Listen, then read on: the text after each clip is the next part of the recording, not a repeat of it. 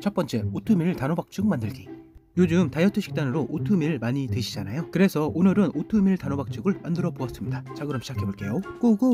처음에 단호박을 준비하시고요. 단호박 껍질을 벗겨주세요. 제가 준비한 단호박은 210g 정도입니다.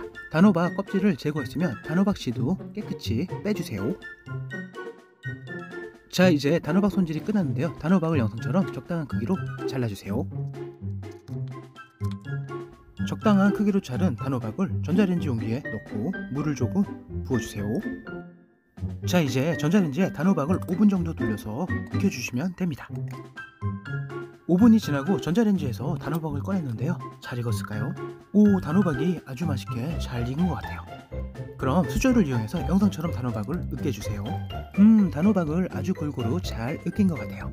그럼 이제 전자레인지 용기에 오트밀 40g 정도를 넣어주세요. 오트밀을 다 넣었으면 물을 오트밀이 꽉 채워질 만큼 부어주세요.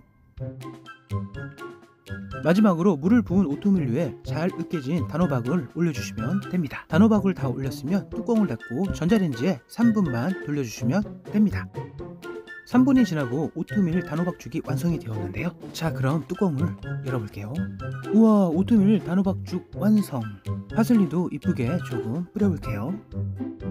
오 다이어트용 한 끼 식사가 완성이 되었는데요. 달달한 단호박과 고소한 오트밀의 조합 괜찮은데요? 그리고 소금을 조금 넣고 비벼 드시면 더욱더 맛있습니다. 오트밀을 처음 드시는 분들은 생소한 맛이겠지만 오트밀을 자주 드시는 분들 한번 만들어 드셔보세요. 괜찮은 맛입니다. 두 번째, 오트밀 참치죽 만들기. 요즘 다이어트 식단으로 오트밀 많이 드시잖아요. 그래서 오늘은 오트밀 참치죽을 만들어 볼게요. 자, 그럼 시작해 볼게요. 고고! 처음에 오트밀 50g 정도를 준비해 주세요. 준비한 오트밀을 전자레인지 용기에 부어주세요. 그 다음 물 200ml 정도를 부어주세요.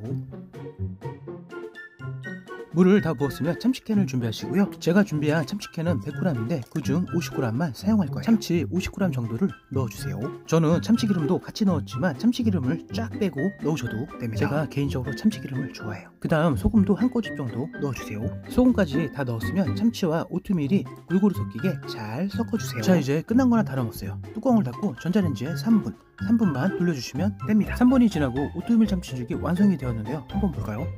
우와. 비주얼은 별로네요. 지금 완성된 이 상태로 드셔도 되는데 저는 좀 전에 사용하고 남은 참치를 고명으로 올려볼게요. 깨소금과 파슬리도 살짝 뿌려볼게요.